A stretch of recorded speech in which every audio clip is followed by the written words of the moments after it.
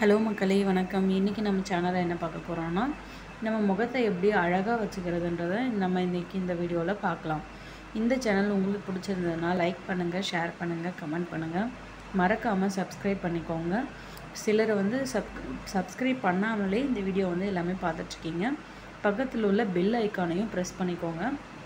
சரி ஓகே வாங்க வீடியோக்குள்ளே போகலாம் நம்ம பார்த்திங்கன்னா தினமும் இந்த காலை வேளையில் கடலை மாவை நீரில் குழைத்து முகத்தில் தடவி முப்பது நிமிடங்கள் ஊற வைத்து பின் முகம் கழுவி வந்தால் முகம் பளபளக்கும். இதைத் தொடர்ந்து பதினைந்து நாட்கள் செய்து வந்தால் விரைவில் பலன் கிடைக்கும். பாதாம் பருப்பு சருமத்திற்கு ஒரு அற்புதமான பொருள் எனலாம். ஐந்து பாதாம் பருப்புகளை ஊற வைத்து பால் சேர்த்து விழுதை அரைத்து தேன் சில துளிகள் சேர்த்து முகத்தில் பூசுங்கள். இருபது நிமிடம் ஊறிய பின் முகத்தை கழுவுங்கள். பளிச் முகம் இப்பொழுது. இந்த வீடியோ உங்களுக்கு பிடிச்சிருந்ததுன்னா மறக்காமல் சப்ஸ்கிரைப் பண்ணுங்கள் ஷேர் பண்ணுங்கள் கமெண்ட் பண்ணுங்கள் வணக்கம்.